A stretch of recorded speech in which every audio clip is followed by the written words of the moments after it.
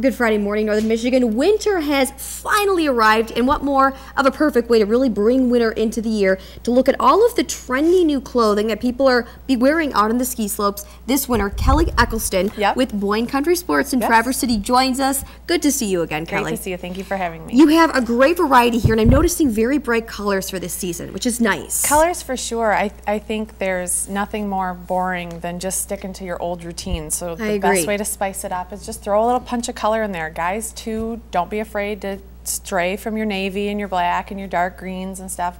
Um, a pop of color is always a really fun way to stand out on the slopes for sure. And obviously, one of the biggest things are layering. You want to layer, especially if you're out there skiing all day, if you're out on the trails, to keep the warmth in. Absolutely. I think the reason why I didn't like winter for so long was that I was dressing completely wrong. Right. Um, so what you want to do is a great base layer is worth every penny. And the fun part about it is base layer is more than just long underwear. Don't okay. think of it as long underwear. Okay. It's going to perform way better than your old fashioned stuff, but it's also really cool. It looks great with jeans, wear it in the bar afterwards, wear it about town, you know, shopping in it. Right. I wear it to work a lot of times just because it's really comfortable. So guys got a, a fun pop of color. There's natural materials made from merino wool okay. Um, that are so soft. Wool, don't think scratchy, think soft, think smooth like silk. Okay. Um, ladies have really fun options with pops of color and nice. prints, color blocking. Very bright. And then layers also go into, um, your next layer would be like your insulator. Okay. It's that ever popular down sweater, that puffy jacket that folds up These into absolutely warm. nothing.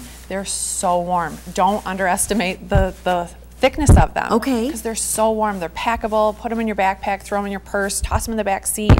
But again, pop a color, them under your ski jacket for the cold days, but then you can go cross country ski, you can go about sure. town, school, college, work, doesn't matter. They're just a really, really good way to stay warm. And we have about 30 seconds left. I just want to mention, obviously, insulators also good to keep that heat in. Absolutely. Insulators, and then also don't forget liners. Um, base layer for your hands is basically what it is. You need glove that. liners are, are really cool because you can wear them as a driving glove, then put them underneath your really good ski gloves. So they go from day to ski to all day long, whatever you need to do, cross country skiing, backpacking, Very hiking around, absolutely, driving, whatever. Excellent. Yeah, well, fun Kelly, colors. Thank you. I love the colors. Love them. Thank you so much for being here. For Great advice, especially to keep you warm out there this winter. You will need it. For more information about Boyne Country Sports and where you can buy all of these products, go to our website. You see it right there, upnorthlive.com.